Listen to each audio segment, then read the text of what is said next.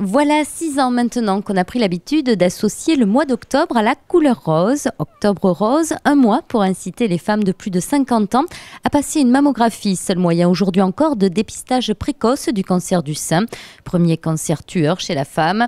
Et depuis que la manifestation existe, la prévention semble porter ses fruits, comme a pu le constater le docteur Philippe Pétour. Nous avons euh, cette année de bons euh, signaux, des signaux très positifs, hein, puisque euh, a priori au jour d'aujourd'hui, il y a 10% de, dépistage de plus par rapport à, l'année dernière à la même date. Tous les ans, on trouve à peu près 100 cancers hein, dans l'Aude, dont 7%, hein, donc 7 cancers, sont trouvés en deuxième lecture.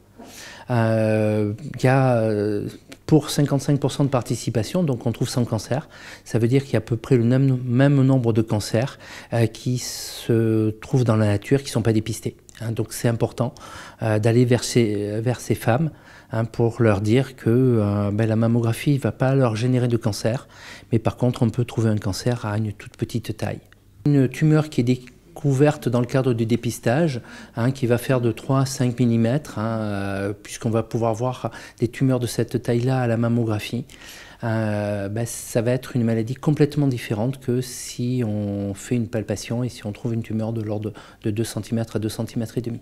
Durant tout le mois d'octobre, de nombreuses manifestations vont se dérouler à travers tout le département pour inciter les femmes de plus de 50 ans à se faire dépister.